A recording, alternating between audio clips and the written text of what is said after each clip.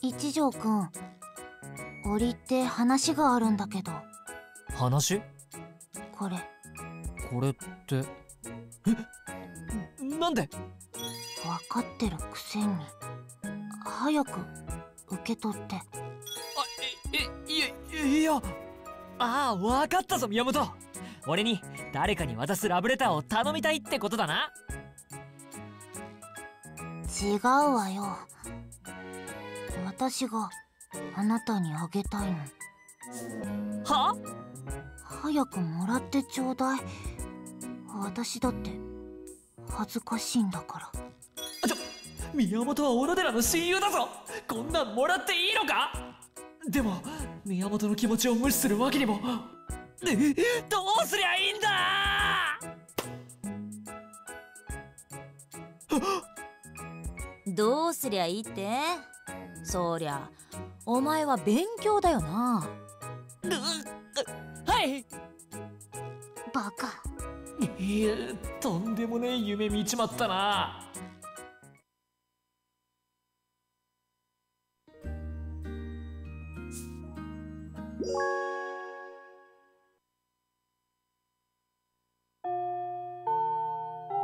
おいシュ一緒に帰ろうぜ。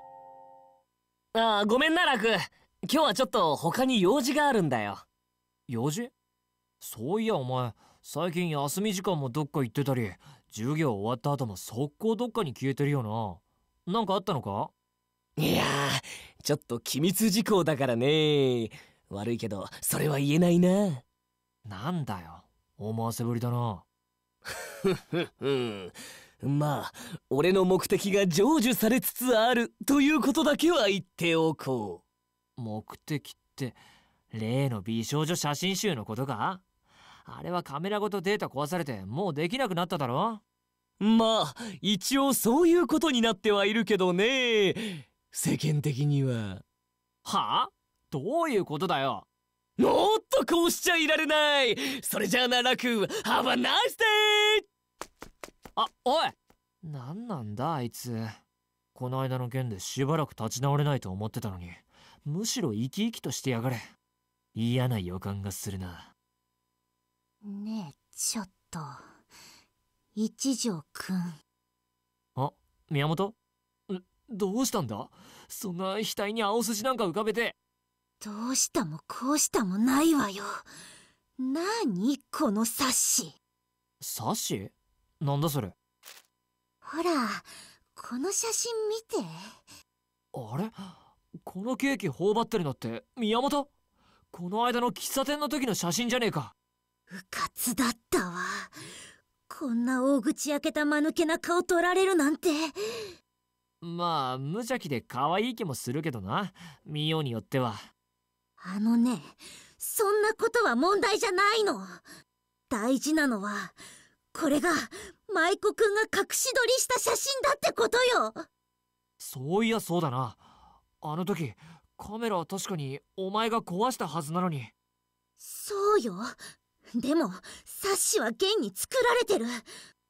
しかも載ってるのは私だけじゃない。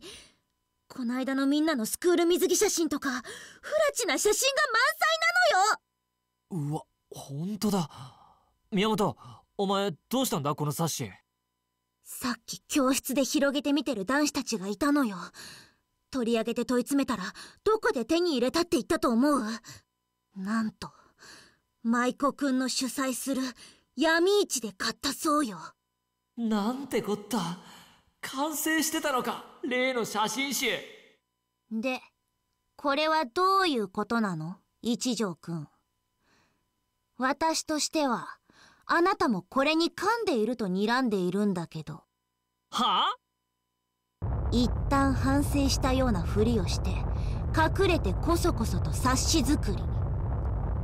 まったく見下げ果てた心意気ね。ま待て誤解だって。俺だってもうてっきり写真集の話はなくなったと思ってたし。どうだか。口では何とでも言えるわよね。くそ完全に共犯だと思い込まれてる。なんとか宮本の誤解を解かねえと。もう騙されないわよ一条くん。どうせ舞子くんと口裏を合わせてるんでしょどうしてカメラを叩き壊したはずなのに喫茶店の写真がここにあるの？もしあなたが潔白だって言うならこの写真の謎を説明してみなさいよ。あの時私が壊したカメラはダミーで本当はもう一台あったってこと？確かに舞子くんだったらそのくらい抜け目ないことはしそうだけど。でもどうしてカメラが2つあったなんて断言できるのかしら？何か根拠でもあるの？カメラを2つ持ってたのを見たとか。プールの時手分けして撮影するためにカメラを渡されていた？そう。つまり彼は間違いなく2台のカメラを持っていたわけね。うち1台をわざと破壊させることで私の油断を誘ったんだとしたらなんという計画性。まんまとはめられた自分が憎いわ。ともかく喫茶店の写真についてはこれで合理的な説明ができそうね。でもまだ一条くんの身の潔白が証明されたわけじゃないわ。このハレンチな写真集の販売に一条くんが関与してないっていう証拠はあるの？舞子くんに協力していればもっと一条くんの財布は潤ってた。か。まあ確かに。ここ最近一条くんの羽振りが良くなったなんて話は聞かないわね。でもそれも状況証拠に過ぎないわ。一条くんの潔白はなんとなく分かってきたけど決定的に信じられる証拠がないのは残念ね。こうなればもう私が一条くんを信用できるかどうかだけの話になるんだけど。ねえ一条くん。まっすぐちゃんと私の目を見てやってないって言えるかしら？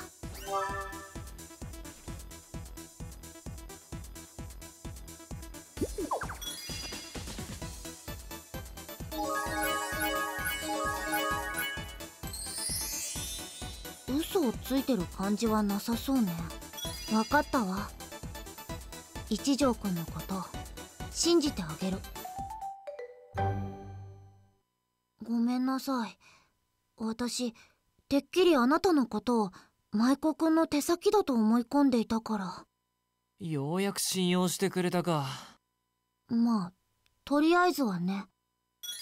ともかくこんなハレンチ冊子の流通を見過ごしておくわけにはいかないわ。一刻も早く探し出してあのメガネ。今日こそ完膚なきまでに叩き割るしかないわね。まあお手柔らかになあいつも多分悪意があるわけじゃねえから。何を人事のように言っているの一条くん。あなたも一緒に舞子くんの捜索をするのよ。俺もか。まあなんとなくこんな流れになることは予想してたけど多少なりとも責任はあなたにもあるんだから。嫌とは言わせないわ。なはいはい。分かったよ。しかし探すって言ってもな最近あいつ放課後になるとすぐ消えるからどこにいるか見当もつかねえんだよ。大方学校のどこかで闇市を開催しているんでしょうね。多分今この時も。学校の中ならしらみつぶしに探せばなんとかなるか。よしじゃあ早速。待てー!そうはさせんぞ楽!おさっきから横で話を聞いていればお前ら舞妓の闇市を潰そうとしてるらしいじゃねえか。一条君君だけにはやらせはしないよ。お前らそんなに生きり立って一体どうした？貴様のようなハーレム系男子に我ら一般男子のパラダイス闇市を邪魔させてなるものか！週の闇市と奴が提供する写真は俺たちの心のオアシス奪われるわけにはいかんのだ！なるほど。舞子くんのお得意様はこんな身近にもいたわけね。おいおいお前ら落ち着けって。闇市の一つや二つ潰れたところで別にいいじゃねえか。もともとギリギリアウトな代物なんだし。分かってない！ラクお前は何も分かってない隠し撮り写真だからこそ燃えるものがあるんだよ。そそうだよ。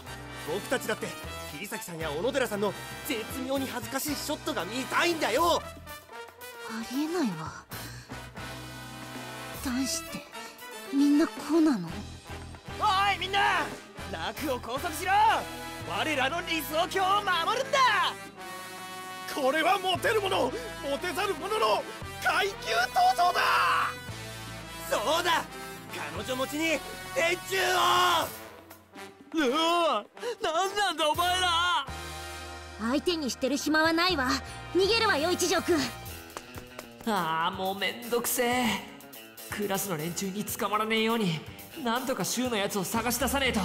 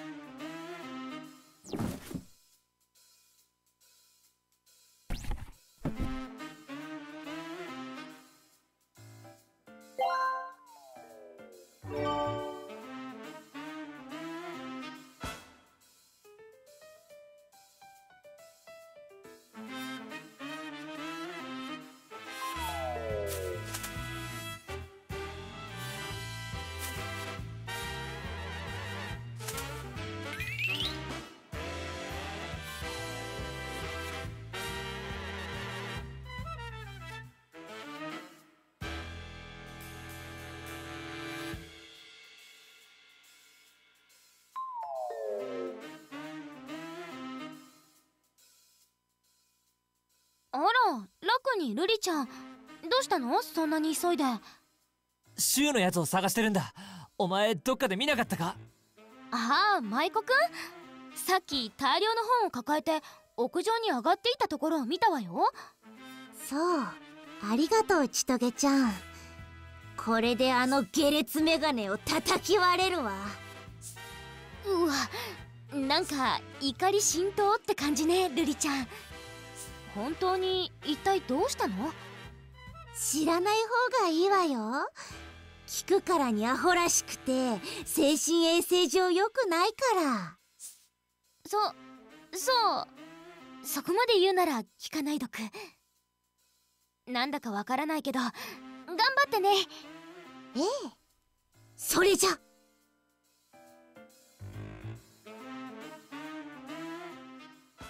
なあ宮本千棘にも事情を話して協力してもらった方が良かったんじゃねえか？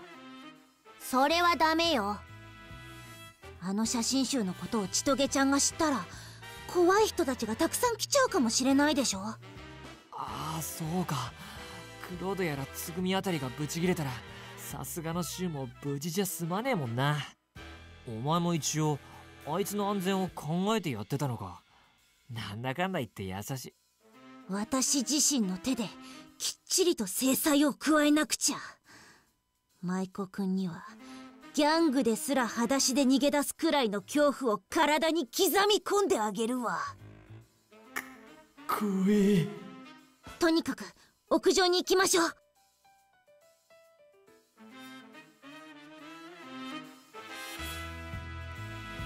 うん？いたぞ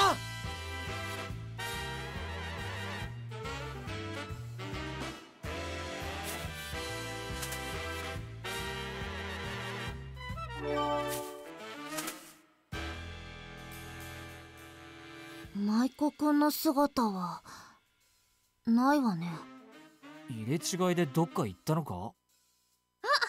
ルリちゃんに一条くん。二人とも写真集を買いに来たの？小崎？あんた写真集って？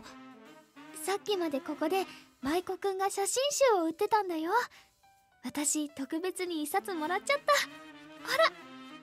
小野寺。お前それ中身見たのか？見てないよ。でも舞子くんがすっごく癒されるよって言ってたから風景写真か何かかなって思ってるんだけど違うの？中身を見るのは激しくおすすめしないわ。そうなの？どれどれ？いい小野寺開かなくていいから。早く舞妓くんを捕まえないと犠牲者が増えてしまうよね。学校のあちこちを転々としてるみたいだな。たくキャラバンかよ。ねえ小崎。舞妓くんの次の行き先心当たりはない？えっと次は家庭科室でやるとか言ってたような気が。わかったわありがとう小崎。あなたの敵はきっと取ってみせるから。さあ行くわよ一条くん。おおうじゃあな小野寺。よくわかんないけど頑張ってね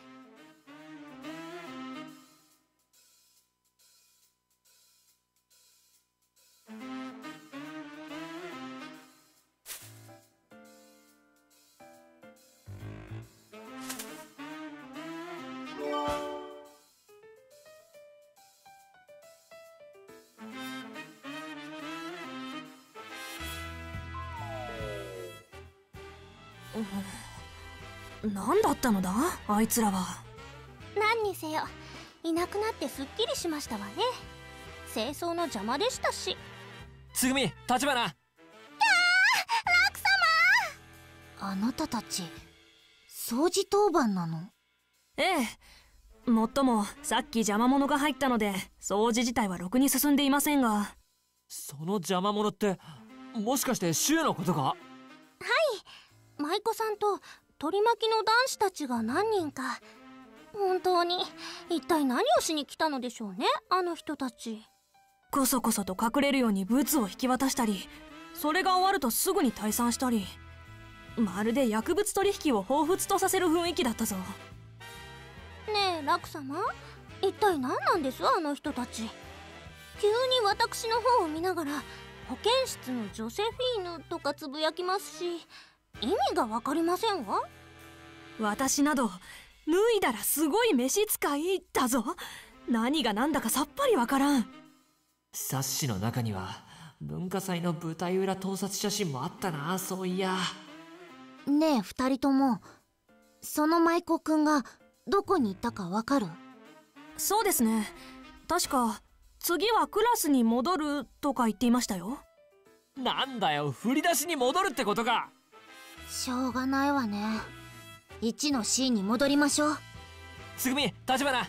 それじゃあ邪魔して悪かったな。楽様お待ちになって。お前はまだ掃除だ。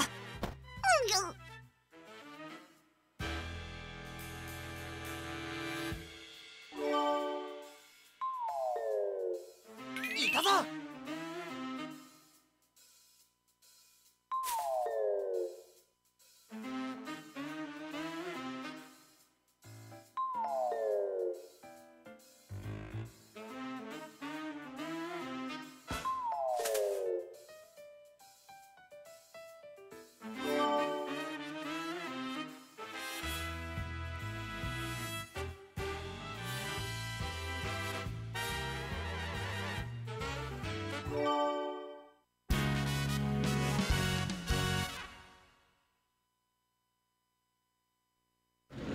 見つけたぞシュお楽ぐぐルリちゃんも。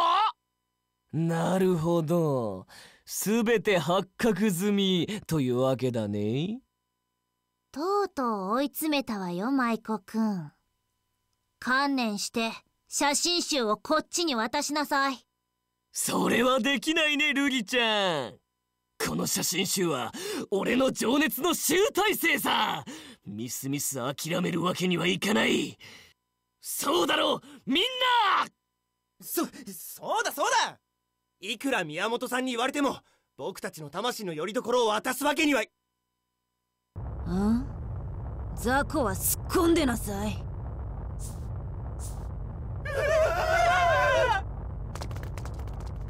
すげえ。眼力だけで追っ払っちまった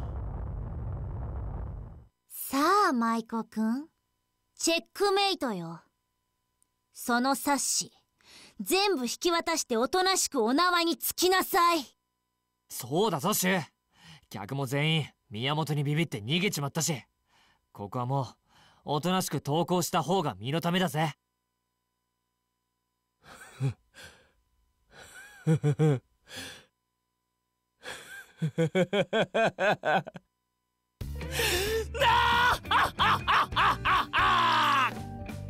何がおかしいの？あなたは今絶対絶命に追い詰められているはずなんだけど。いや何？俺は今自分の目が節穴だったことにようやく気づいただけさ。節穴？どういう意味だ？俺の探し求めていた思考の萌えは実はこんなに近くにあったってことだよあまたの男たちの追跡をかいくぐり闇市を探し出して乗り込む行動力。そして人睨みで周囲を畏怖させる胆力。この俺でさえ震えたくらいだからね。いやメガネっ子って超クール。そのことに気づかせてくれてサンキュールリちゃん。やっぱメガネっ子って素晴らしいんだな。そう。ルリちゃんの活躍を通して俺は今メガネっ子に目覚めた。今回こそ敗れはしたけどいつか必ずこの闇市と舞妓衆は復活を遂げてみせるよ。復活の暁にはメガネっ子オンリー写真集の販売だ。表紙はもちろんルリちゃん一択で。なんつうか恐ろしく前向きな結論に達したようだな。まあ一言で言えばバカよね。メガネっ子万歳！ビバグラスガール！とりあえず終わらせましょう。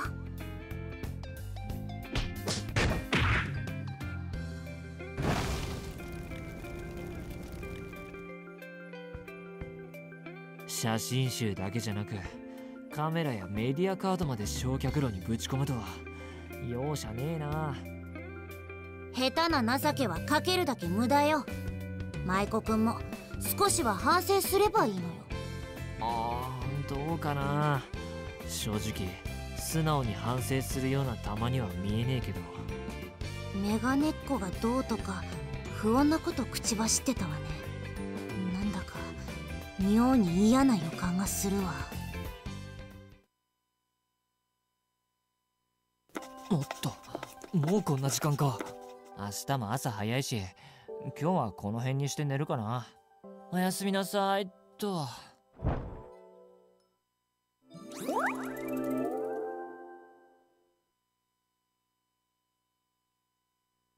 うんもうあと5分